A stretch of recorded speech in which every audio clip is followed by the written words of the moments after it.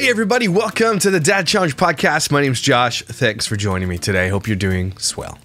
Today we're talking about Dougherty Dozen, but not super snarky. I'm sure we'll snark a little bit, but it's not really. She did something with Big Brothers and Sisters, and someone made an awesome comment on Reddit uh, about the whole situation, and I'm going to cover it. And me, you know, took me down a little a route we're gonna kind of look at what's been going on in the channel, what these kids are dealing with. Unfortunately, I'm have to show you their faces today because she does a roll call and you just see their faces.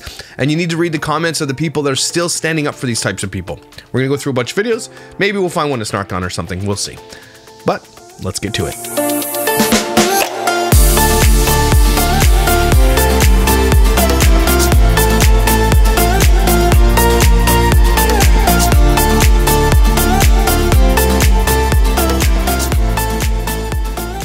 So if you're new to the Dougherty Dozen thing, no, you're not.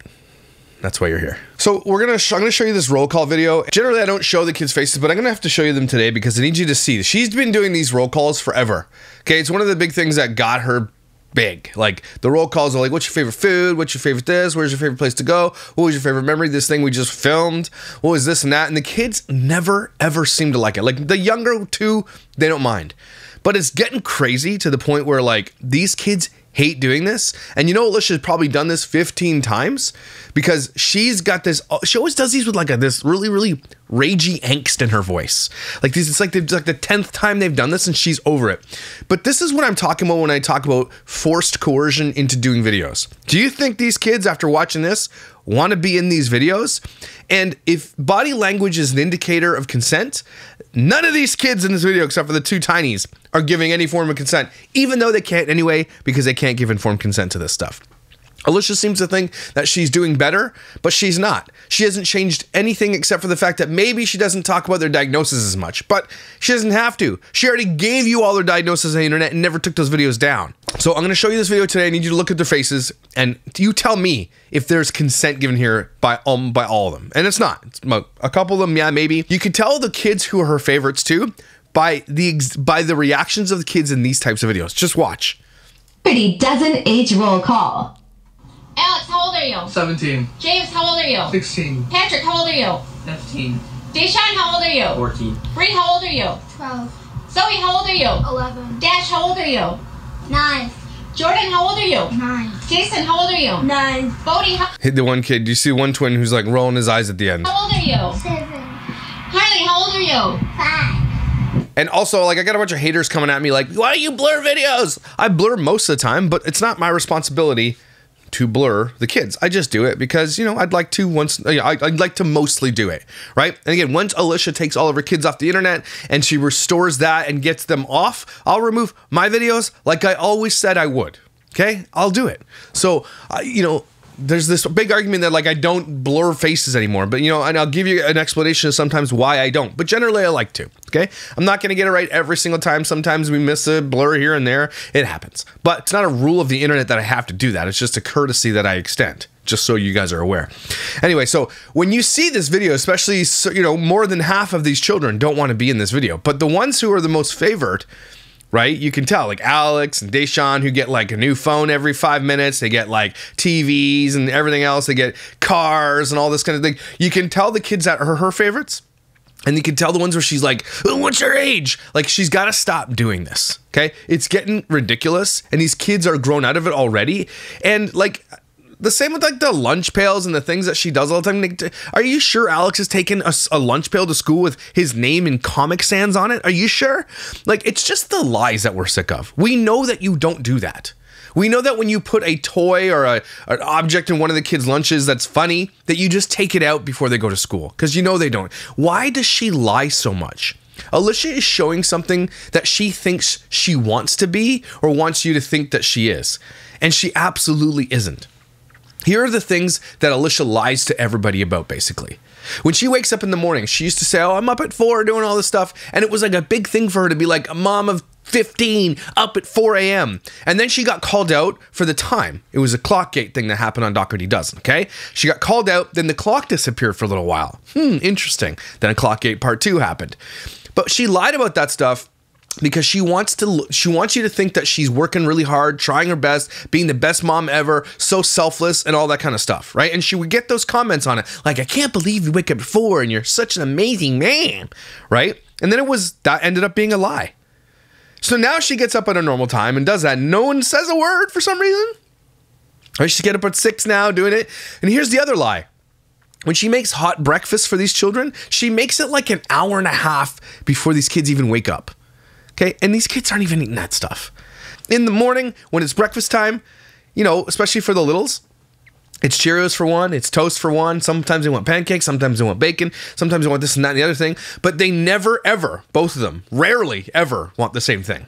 Okay, imagine 11 kids now, and she makes the same thing for 11 kids. Now I understand she, people are like, well, that's, you know, that's her being, oh, you better eat what I put in front of you. But we know that's not who she is. She doesn't do that either. These kids don't eat that. She has 400 boxes of sugar cereal in the cupboard behind her. That's what they're eating. But she lies about that. Now, I don't know why she lies about that. It's weird because in other videos, she'll show you a chocolate shit fountain that we laughed about the other day that she feeds her kids after school. Like, just don't lie. Because here's the reason the lie is there because she wants you to think that she's this super mom who's making hot breakfast and kids just deserve the world. But Alicia never lets a thing go by in their lives. No event, as even as mundane as breakfast, go by without filming it for you, for fans, for the internet, for strangers, for haters. She does everything possible. Everything that this woman does, everything, including shopping, including hair, including nails, including talking about their septic tanks. Everything is for you to consume. Nothing is sacred for her. Nothing is private for these kids. Nothing. No birthday, no Christmas, no celebration, no event, no sporting thing. Nothing. Nothing is off limits for her to share with strangers on the internet. And these kids are the subject of it all. If Alicia took her kids off this channel, she wouldn't survive. Now, she's sort of backed off a little bit of making the videos about them. She still does the birthdays and Christmas and everything else, but it's not as much, which is great. But it's not that, but all that does is prove that her content crashed and burned, and it did. Big time. She gets a quarter of the views. She's trying so desperately hard in the back end of YouTube to cancel me, get me, can like get me, uh, like she tried to sue me. That didn't work for her. Then now she's trying to copyright strike me. That's not working for her either. And she's so desperately trying to, now she's coming after my sponsorships and everything else. It is crazy. Okay. And, it, it, and because she gives 20% of her money to Sun and Sky Entertainment. This guy takes this criminal that runs that operation. He is a ex felon or whatever you call that. $22 million in scams and fraud. That guy went to prison for that. That is running her channel. That's the guy that manages Dougherty Dozen. Okay, she never talks about that though, but she has to give that guy 20%. So when his 20% dwindles, of course he's gonna come after me. Like the lawsuits and everything, they want me out of here. They would want nothing better than for me to be gone. Okay? But that's it. That's the lie. The lie is is that everything's copacetic. Everything is just normal. We're a normal family. You're not. You've got a felon literally have your kids signed to lifetime contracts. Isn't that crazy? The other lie she tells you is that everything's great. Okay, inside the home. You, you, she'll never tell you what's going on because it's not great inside that home. And people are, are, are, are even still to this day tricked about what's going on in this home when N left, that was a big wake up call for a lot of people. And I'm sure even her fans were like, what happened? Right? Because you'd never know anything was going wrong because everything looked sort of okay. But the kids, when they show their face, especially N, when she shows her face on the camera, we all knew that she was miserable and hated this. And we saw it with our eyes. The same thing we're seeing now with these other children. That same thing we've been seeing as a pattern all through all throughout this thing. And the lie that she tells you is that I buy my kids things and so they're happy. That's a lie for anybody, by the way. Just because you get a Kona truck 10 times a year doesn't make your kids happy. Just because you buy them absolute bonkers bananas amount of presents does not make them happy. Because they'll break it and they don't care. And we can see that every time they open a gift when they don't care. Could you imagine getting the amount of gifts that these kids get and not being thankful? That's not that's not to say something about these kids because that's not their fault. These kids are not at fault for not being thankful. That is Alicia who is at fault for not teaching these kids to be thankful, for not teaching the understanding of like being grateful. You're raising children who will not be grateful. Alicia lies to you in so many ways, and everybody just eats it up, her fans. And that's why I'm going to look through these comment section real quick before we get to the other video. You got to look. it's it's half and half, and I'm surprised she still keeps some of the comments up because here's why. She's got 105 comments on this video, and that's really telling considering she used to get thousands and thousands and thousands of comments. Now I get thousands of comments in my video because my block list isn't 25,000 strong.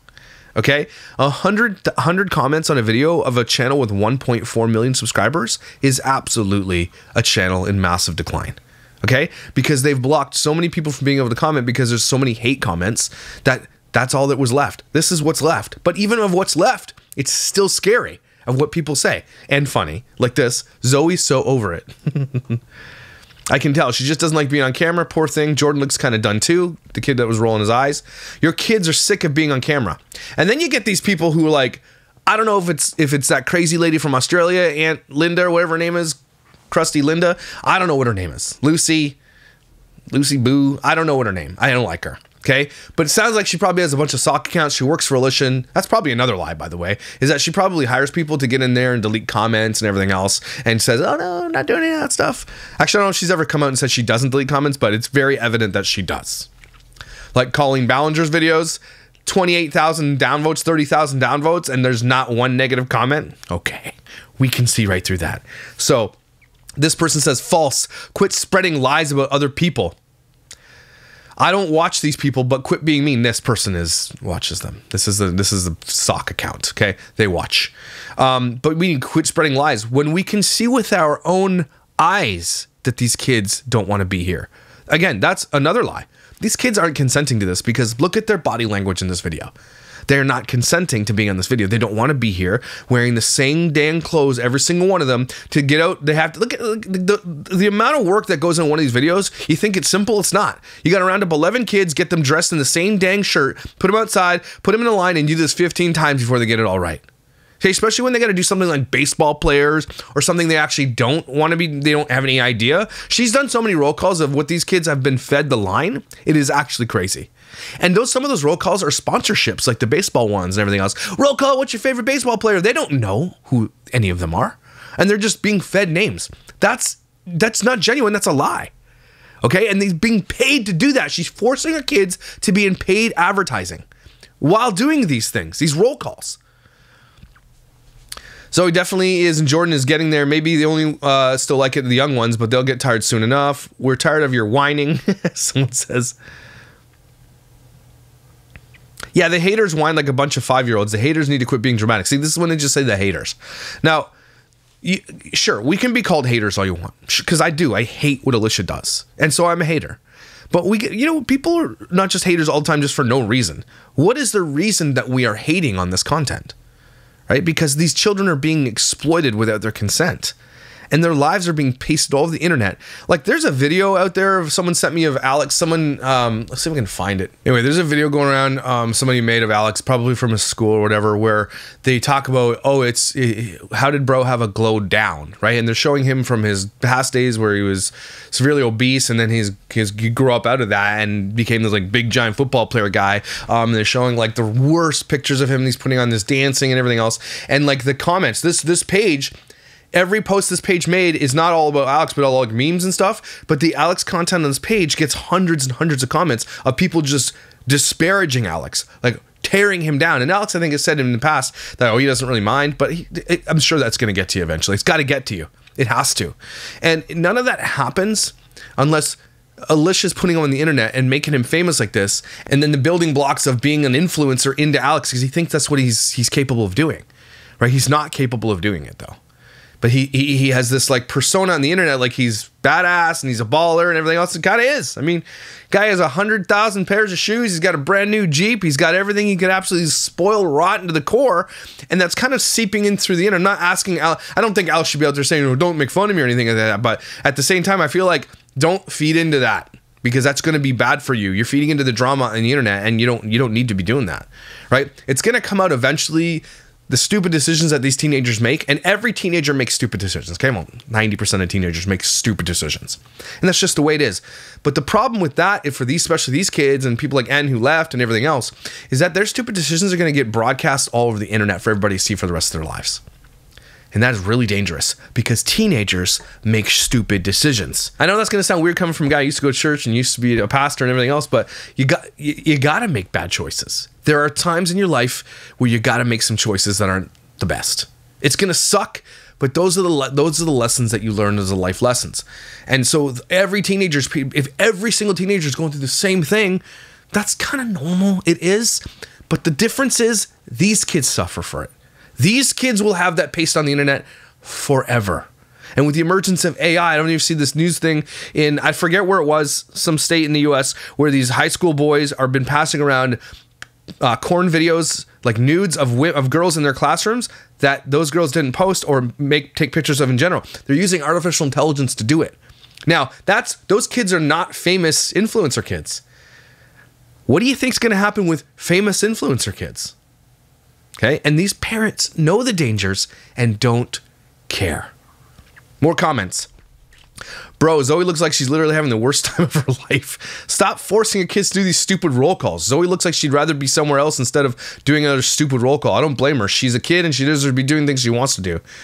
And then this person's like, don't, she don't force them, bruh. Yes, she does. You think these kids are gonna wear this and come out without being forced? And why does the littlest one get to not have to wear a checkered shirt? Someone's like, What do you think? You're psychic? No, you don't have to be psychic. I'm also not blind. You can see the kid's face. Good comment. Zoe looks pissed. And again, these kids, this is their, could be their protest. Like these kids, that's why she probably has to do them a bunch of times because these kids don't, like, it's so weird to me that Alicia allows these videos on the internet when these kids look absolutely miserable right? And she's not going to change it because these kids, she's probably done it 10 times. And with 11 kids, they're going to be miserable. They don't want to do it. This is their protest and they should continue to do that. Kids on the internet, you have more power than you think with your parents who are exploiting you.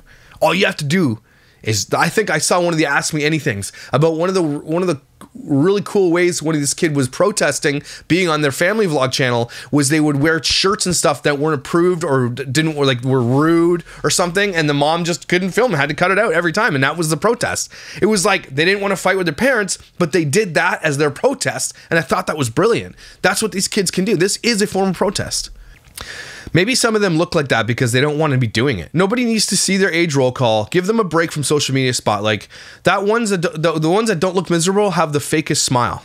Then this person again, this user person who is likely Aunt Stacy from Australia, whatever her name is. I don't watch these people, but quit spreading like they keep saying the same comment over and over again. That's so weird to me. They just keep copy and pasting that same comment all over this. If you don't watch them, why are you in their comments a thousand times with the same comment? It's really weird. Zoe is truly and thoroughly done. She was forced to participate. I feel so bad for her. Zoe and many other kids are done. They're so like uh, this is why I'm so I'm so perplexed at why Alicia would put this on the internet. Is because she has to. She has no choice. This is content and she has to put it up. Because people are like, we need an age roll call. You're answering to fans who are strangers and you're doing their bidding with your children. Give it a rest, mom. This is all negative. See, there's 105 comments and almost all of them are negative. So if she were to leave up the ability to comment, there would be thousands of negative comments, even of the 100 people they allowed to keep up on this thing, all negative. If she deleted every comment we've read so far, there would be six comments on this whole video. And that would look bad. Well, it looks bad now. See, and she'll respond with, they're all getting old. And she responds with this orange, these orange hearts, which I don't think is even her, by the way. It's probably someone else. A couple good ones. How old are you? Donuts. She didn't say donuts. Someone says cute. And she responds to the good ones, obviously, right? I feel so sorry for those kids. And here's the thing we can't blame a lot of the positive comments because some of these people might just be coming along and just discovering Dougherty Dozen and not understanding who they really are. I think once people start getting in, they're like, oh, I like this for some reason, which is weird. I don't know why you would. But some people are like, oh, I like this. Then they go down the rabbit hole. Then my videos pop up. Then like other people's videos pop up about Dougherty Dozen. And then they're like, oh, yeah, never mind. That's kind of what happens, I think. Okay, let's get to this other one here. So this is posted on the Dougherty Dozen Exposed Reddit page, and it says, please let the Read with Read 83 Foundation see through her disgraceful opportunistic, opportunistic behaviors. This was more disgusting than anticipated. And this is the video they're talking about. Spend the day in Buffalo with us. We are at the Boys and Girls Club where we got to spend time with the kids, plus Buffalo Bills players Trey Norwood, Ryan Vandemark, NFL Buffalo Bills players don't know how to tie their laces. Hmm, maybe that's why they suck at football. Hall of Famer Andre Reed and his awesome wife Teresa. Fowler's Chocolates, who donated $10,000 for this brand new reading room as part of the Read for Read 83 Foundation. Big Brother star Britini D'Angelo was even there and Who? she taught the kids a touchdown dance. If you saw our Monday mini vlog, you know we bought books for each of the kids to take home. The Bills gave them a bunch of merch, plus cards, and Fowler's Chocolate gave them each a candy bar. I am so proud of my kids who stepped up to volunteer and hand out all of these products to the kids. And everyone went home. They didn't step up to volunteer, Alicia. You voluntold them to do this. They didn't step up to volunteer. F off. Anyway, we'll get to the post. You have autographs, so there were smiles all around. I volunteered for years with Big Brothers Big Sisters back in the day before kids, Back in the day. and it was so nice to be back at it. That's it. You're not back at it, Alicia. You're not back at it. You just did this and read this post. She only finagled her way into this event disgustingly for self-promoting reasons. She could have gone to her city's she could have gone to her city's Boys and Girls Club and donated these books and spent time with the kids, but there weren't Bills players with merch and autographs to be f- to be for their kids. So she drove 80 miles from her town's club to instead to be an opportunistic, opportunistic scumbag. There's no other reason than plays it off like her kids made her so proud when they clearly benefited too with the merch and the autographs from the Bills players. Those kids left there knowing not about giving as they gave nothing, but once again, they are always on the receiving end. Then her play on words and describing the event like they were they her were front and center major computer contributors in trying to portray that she was right there in it all is as much Andre Reed. She's a dirty bitch and she is beyond transparent to everyone except her a-hole fans. This is a great post. And when I read it, I was like, "This is such this this has to be read." And I watched the video because I was like, "I'm on here some sometimes taking a look at these comments." That is exactly what's happened here. Alicia has a, a brothers and sisters club in her own town. So why did she drive 80 kilometers with her children? Because she wanted to meet Buffalo Bills fans and she needed to make content out of it. None of this is out of the goodness of her heart. Nothing Alicia ever does is out of the goodness of her heart. It's out of the ability to make content. When she made 200 sandwiches, that went viral. Okay, she made the sandwiches to go viral, and then she's like, instead of throwing them in the garbage like she normally would have, she's like, well, we're gonna go donate them to homeless people. And then she didn't. Remember, she did a video where she drove over there and it was closed? And then she's like, I'm gonna go hand these out. Did she? No, she didn't. That's another big lie. One of the biggest that she's told on this channel, by the way, and it's kind of disgusting. Okay. She always portrays to be this person who's giving and loving and everything else, but it's all about content. This is what influencers do. And people who do people who are influencers who do good things on the internet, they do them to film them. Okay? And it to a degree, I'm okay with that. Right? I just want you to be honest about it. You got Mr. Beast out here building a thousand wells, helping hundreds of thousands of people. That's on a large scale, and he's doing really big things, and he's getting paid big bucks for it. That's okay by me. It's even okay by me if Alicia wants to get a whole bunch of things and go donate them. That's okay because you can inspire people to do those but do it. She lied about it. So she made the 10 the 200 sandwiches and did these kits and everything else and then basically threw those in the garbage because someone reached out to that place where she said she dropped them off and then she said they said no. We don't take that anyway and no it didn't. So she lied and got away with it. Then she did her thing where she lied to you guys about every month she's going to pick another thing and we're going to donate money to them. Whatever happened to that? That's a lie. She doesn't do it. And even if she did, she'd be smart to do it because she could write it off as a tax exemption thing. If you go through her, whatever. If she donates to her and she donates it, she gets a tax write off. Okay? So whenever you see an influencer doing good things for people, it's good and bad, in my opinion. Okay? Like I love that Mr. Beast did that, and I think he would a person like him has a massive, massive amount of following, probably one of the biggest followings on YouTube, can inspire others. I would love to go build wells in Africa now. I'd, I I think that would be a great idea. I've had that idea in my head for years. I've done it with my church, and I did documentaries in Kenya where he went too. It was great, beautiful place, right? Um, but I didn't do do for accolades. But I, I don't care that he's doing it for cash. He's doing it, right? People out there giving stuff to homeless people you know, it can, a lot it can leave a bad taste in some people's mouth, but if it inspires others to do those things, yeah. It is kind of like a it is a gray area for me, but there are some people who do it you absolutely know for no good reason. They're doing it for their own selves. Right? Dougherty Dozen is one of those people. Because this this comment was is gold in that way. There is no reason for her to drive 80 miles to Buffalo when she has one local that she could have donated books to, who probably needed the books and then saying that my kids stepped up. Her kids didn't step up. She did. this. she think her kids researched Boys and Girls Club in Buffalo and said, let's go there and donate? You think that's because we know that's not true? You're lying. Again, Alicia, you're lying. She lies about everything because Alicia is not who she says she is. I have spoken to many people who used to be in Alicia's inner circle. Okay. And every single one of them have the same thing to say about her. She's a lying, conniving, two faced, opportunistic person they say different words and languages, but this is who she is. She has nobody left. Nobody wants to be in her circle. So even this mad mama. And maybe it's Alicia distancing herself from this mad mama, or I don't know what it is.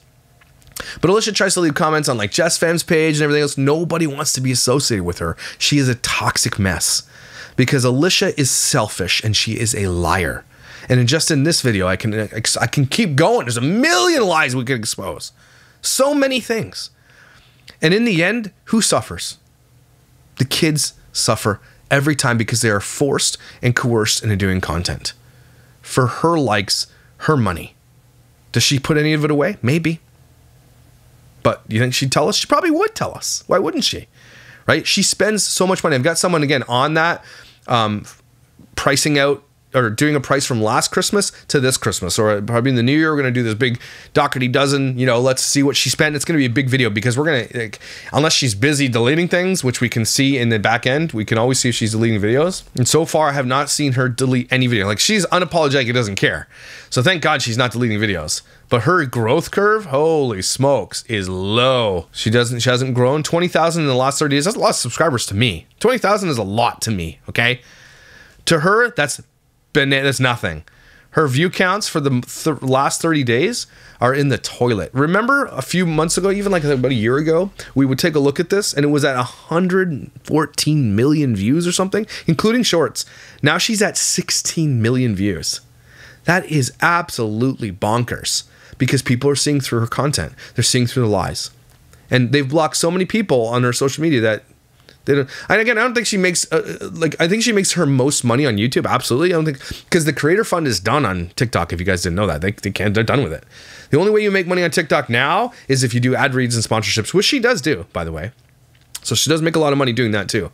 So this is it. And I, am starting to realize the more su- subscribers and more powerful you are, the more money you make. Like Dylan Mulvaney for the Bud Light thing. I don't know if you knew this.